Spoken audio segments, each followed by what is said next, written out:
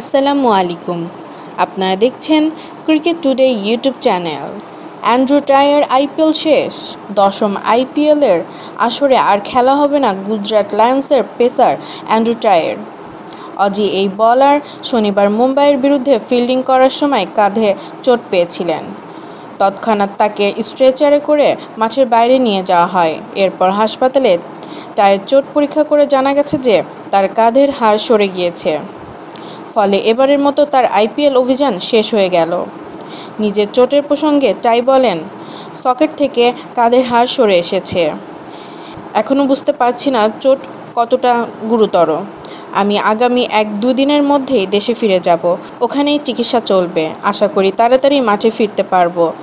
দুর্ভাগ্যবশতে আমার আইপিএল শেষ হয়ে গেল। গুজরাট লায়ন্সের অভাব বোধ করব। এখন দেখার রায়নার দলে কোন পরিবর্তী খেলোয়াড় আসেন?